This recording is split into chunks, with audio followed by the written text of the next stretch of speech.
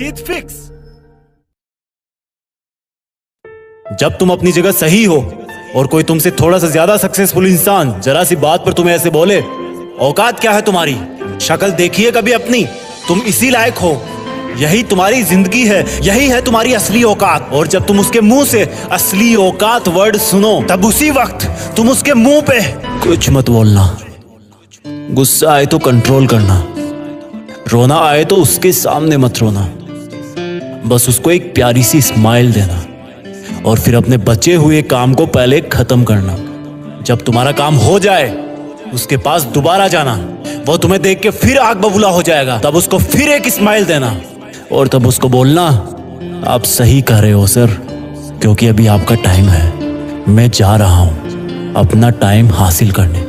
और हाँ कभी फ्यूचर में माफ़ी मांगने का मन करे तो मत मांगना, क्योंकि मैं आपको माफ़ कर चुका हूँ।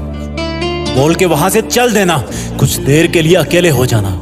रोने की तीव्र इच्छा हो तो अकेले में रो लेना। फिर एक डायरी निकालना। उसमें आज से पाँच साल बाद की एक तारीख लिखना। फिर उसको कहीं सुरक्षित अलमारी में रख देना, क्योंकि वो तुम्हारी डेडलाइन है।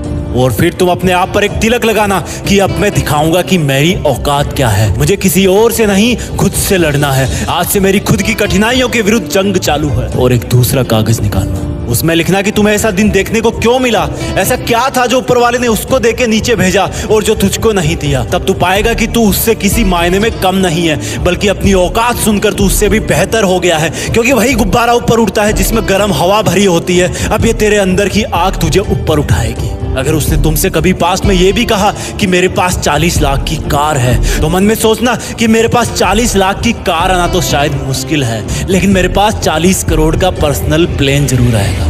अगर उसने तुमसे कभी पास में यह भी कहा कि शकल देखी है अपनी तो मन ही मन मुस्कुरा के बोलना कि अब मेरा चेहरा मेरा ब्रांड बनने वाला है। अगर वो बोले कि तुम लाइफ में कुछ नहीं कर सकते तो मन ही मन दिलासा देना कि मैं कुछ करूँ या ना करूँ, तुम कभी आके मेरे से माफ़ी ज़रूर मांगोगे। उसको कुछ बोलना नहीं, कुछ करना नहीं, खुद को ही बोलना है, खुद को ही करना है। क्योंकि अगर तुमने उसको उसी वक्त बोलकर जवाब दे दिया तो तुम्हारे अंदर की आग लीक हो जाएगी और तुम गिरना शुरू कर दोगे। इसलिए अपनी ज्वालामुखी को ऑन रखना कि अब दुनिया मेरी मेहनत देखेगी, क्योंकि अब मैं नहीं रुकूँगा। दुनिया मुझे पसंद करे या ना करे, वो मेरा नाम ज़रूर सुनेगी, क्योंकि मैं खुद अपने काम को पसंद करता हूँ। अब दुनिया मेरी औकात देखेगी, मेरी जंग किसी इंसान से नहीं, मेरी जंग खुद से है, खुद की आलत से है, खुद के दिमाग से है, खुद के शरीर से है। जब मैं खुद से जीतूँगा तो बाहरी दुनिया अपने आप हार जाएगी। जब मैं जंग में कूदूँगा तो मेरी कठिनाइयाँ मैदान छोड़ के भाग जाएगी।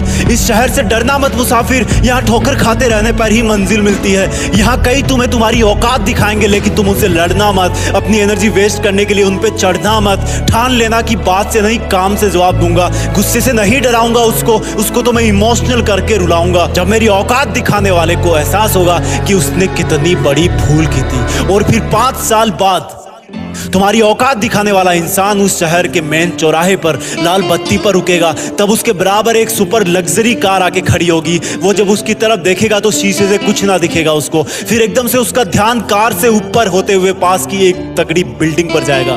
उस पर वो एक बहुत बड़ा चालीस बाई तीस का पोस्टर देखेगा। उसे कुछ हल्का हल्का याद आएगा। तब उसकी मेमोरी में औकात वाला दिन फ्लेस मारेगा। तब वो अपना शीशा नीचे करेगा। ये कंफर्म करने के लिए कि ये पोस्टर उसका नहीं हो सकता। लेकिन तसल्ली नहीं मिलेगी।